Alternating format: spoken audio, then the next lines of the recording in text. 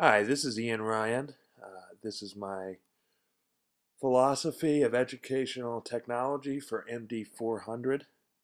Now, as we've learned throughout the semester, we can see that the old classroom just isn't going to work uh, for our modern students.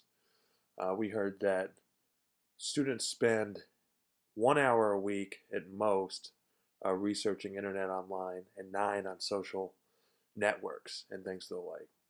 So why not use them in the classroom?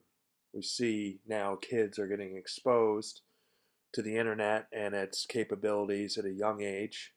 So as teachers, we should utilize that um, via the form of social networks. Um, Blogger is a great uh, platform to use in the classroom because students have the capability to share, comment, and view uh, their classmates' work where in the past, um, students would just write a paper and hand them in.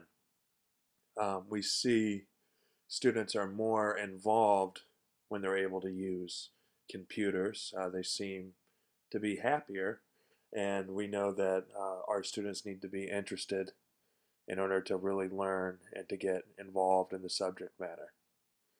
As a teacher, we need to be informed of these programs, and that's one of the reasons I found this course very useful.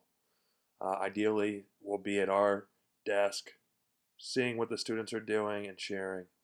Now, educational technology is the key to the earth, and let's hope we don't end up like this one day.